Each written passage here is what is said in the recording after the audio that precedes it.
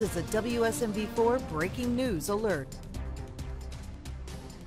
News update from La Vergne. Right now, police confirm two police officers were shot this afternoon, and the suspect is still on the run. Now, there is a shelter in place warning for people living nearby. So we want to get straight to our Sharon Dankwa. She is live on the scene for us there in La Vergne. Sharon, we just heard from police. What did they say?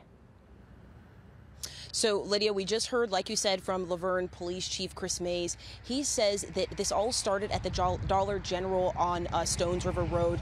He says police were reporting to a stolen car. They said that they started struggling with a man, and that man pulled out a gun and he shot two officers, just like you said. He says um, one officer was shot in the shoulder and the other was shot in the groin. Now, they were both taken to Vanderbilt Medical Center where they are saying that they're in stable condition. Now, I was around around this area. I've been around this area for some time. There are police from all types of agencies that have rush down here. Um, they're searching through cars, they're lifting up hoods, they're looking through uh, trunks, they're rolling down windows looking for anything they can find. I also spoke to some people who live around this area. They tell me that they're scared. Some say that they're feeling comfortable with how fast and how urgent police have responded to this, but um, the police chief did list off what this man looks like that they're looking for who is still at large.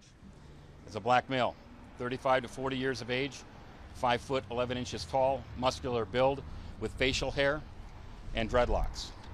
He was last seen wearing a black t shirt with a white hockey mask emblem on the front with red lettering. He was also wearing gray pants.